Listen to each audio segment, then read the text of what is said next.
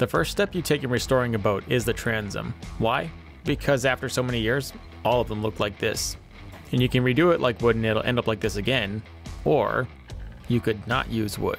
You can get our all aluminum transoms, which will last just as long as the boat hull itself. We sell different versions of these transoms, one that is modifiable to most Jon boats in a thickness, from a 15 to a 20 inch transom that you can chop off and trim like a piece of wood, just as you would do with a wooden transom. We also can make custom fitted ones like this to order. With minor trimming and minor tweaks, you can make it fit right inside your boat, like so. You can raise a 15 inch transom to a 20 inch transom. You can add things that you would never be able to add to your old wood one. You don't have to worry about your transom imploding over time because the wood's cracking and splitting and separating. You don't have to worry about any of that. After all the time and money and planning it takes to redo a tiny boat like this, the last thing you want to do is rip it out and have to redo it again. This transom will last as long as your boat hull itself. It'll be one of the few things that outlast everything else on it.